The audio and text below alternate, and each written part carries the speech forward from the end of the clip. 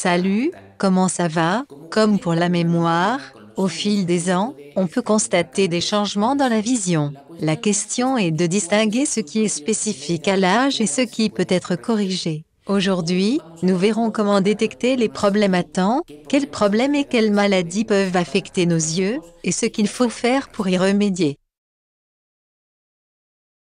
Les examens annuels chez l'opticien, lorsque nous vieillissons, sont le meilleur moyen de détecter les maladies naissantes et d'apporter des corrections appropriées à la prescription des lunettes, si nécessaire. Il faut dire que le diabète ou l'hypertension non traités peuvent entraîner des problèmes oculaires. C'est ainsi qu'un problème de santé courant peut nous rendre dépendants si nous n'agissons pas avec sagesse. Heureusement, contrairement au diabète ou à l'hypertension, qui peuvent affecter les yeux sans que nous le remarquions, il existe d'autres maladies qui se manifestent par des symptômes clairs, comme la perte soudaine de la vue ou la pâleur, les flashs, les douleurs oculaires, etc. Voyons s'il s'agit de symptômes de problèmes courants ou s'ils indiquent une maladie particulière. Voyons maintenant quels sont les problèmes qui peuvent affecter nos yeux. Les trois problèmes suivants sont assez courants et ne sont généralement pas des signes d'alarme. À quelques exceptions près, les taches flottantes sont de minuscules points ou toiles qui semblent flotter lorsque nous sommes dans une pièce bien éclairée ou lorsque nous regardons le ciel par temps clair. On considère généralement que c'est un événement d'anniversaire, mais cela peut indiquer un décollement de la rétine. S'il y a beaucoup de nouveaux spots flottants ou de flashs lumineux, il s'agit d'une urgence médicale. Les déchirures excessives peuvent être la réaction d'une personne à la lumière, au vent ou au changement de température. Dans ce cas, des lunettes de soleil ou des gouttes pour les yeux seront utiles. Mais il arrive que cette déchirure se produise en l'absence de tels stimuli, car elle est la réponse à une infection ou à un blocage du canal lacrymal, il faut alors consulter un médecin, les paupières rouges, gonflées qui démangent, qui provoquent des larmoiements et des croûtes sur les cils pendant le sommeil, peuvent être dues à la blépharite. Il est généralement traité avec des compresses chaudes et des pommades douces pour nettoyer les paupières. Au fait, voici un lien vers la vidéo expliquant comment prodiguer des soins oculaires à une personne âgée. À l'exception de la première maladie dont nous allons parler, qui peut entraîner une perte partielle de la vue, les autres peuvent entraîner la cécité. Au début, ils peuvent ne présenter aucun symptôme ou des symptômes très légers, mais leur détection précoce lors d'un bilan de santé laisse une grande marge de manœuvre pour traiter les maladies associées, la presbytie et la perte lente de la capacité à voir les objets proches ou les petits caractères. C'est quelque chose de typique de l'âge, et on peut le dire parce que cela donne des maux de tête, de la fatigue ou de la tension dans les yeux, et parce que la personne étend beaucoup les bras lorsqu'elle lit, avec l'âge. Les bras deviennent plus courts, comme certains le disent, parce qu'ils ne reconnaissent pas qu'ils voient mal. Les lunettes corrigent généralement le problème.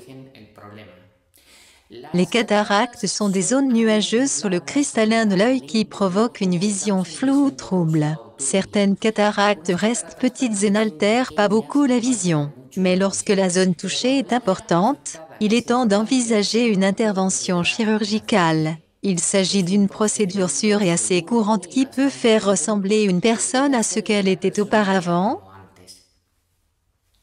Les maladies cornéennes peuvent provoquer des rougeurs, des déchirures, des douleurs, des problèmes de vision, des halos. Les objets semblent avoir une aura de lumière autour d'eux. Le déclencheur peut être une blessure ou une infection, et bien sûr, ces maladies sont plus fréquentes chez les personnes âgées.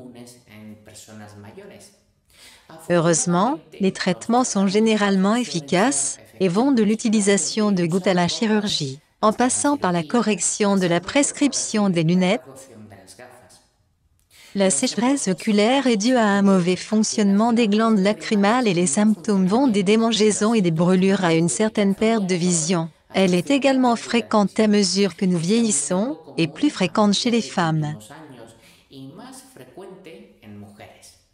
Un humidificateur à la maison, quelques larmes artificielles, une pommade ou même des lentilles de contact spéciales pour les cas les plus graves, fonctionnent généralement bien.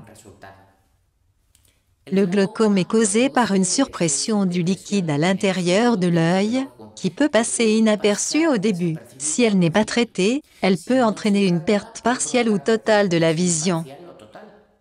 La meilleure façon de la détecter est de procéder à un examen régulier au cours duquel la pression intraoculaire sera mesurée, en plus de l'examen du fond de l'œil avec la pupille dilatée. Le glaucome est traité par goutte, par laser ou par chirurgie.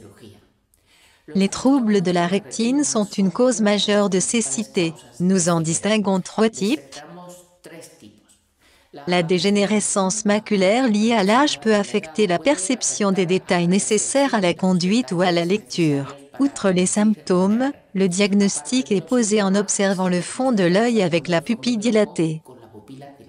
Il existe de nombreux traitements pour ce trouble, y compris certains compléments alimentaires qui peuvent réduire le risque d'aggravation. La rétinopathie diabétique se développe lentement et silencieusement. Si vous êtes diabétique, vous devrez donc vous faire examiner les yeux au moins une fois par an. La meilleure stratégie consistera à maîtriser le diabète, bien que la chirurgie au laser puisse parfois empêcher ce trouble d'aller plus loin. Le décollement de la rétine, comme nous l'avons dit, est une urgence médicale et se manifeste par de nouveaux spots lumineux flottants ou de nouveaux flashs lumineux. Grâce à la chirurgie ou au laser, les médecins peuvent prévenir la perte de vision. Si, malgré les lunettes, les lentilles de contact, les médicaments ou la chirurgie, nous ne pouvons pas lire les panneaux de signalisation, nous avons du mal à reconnaître les visages de nos amis et de notre famille. Ou si les lumières semblent plus faibles qu'auparavant, il est temps de passer à l'étape suivante, trouver un logement. Bien sûr, vous pouvez toujours utiliser une loupe lumineuse pour effectuer des tâches statiques, comme lire ou faire un puzzle. Si vous lisez sur un appareil électronique, vous pouvez effectuer des ajustements destinés à améliorer l'accessibilité, qui agrandissent les lettres, améliorent le contraste, ou même sont lus à haute voix par nous. Une autre chose que l'on peut faire est d'améliorer l'éclairage. Vous pouvez utiliser de grands feutres noirs et du papier à gros traits.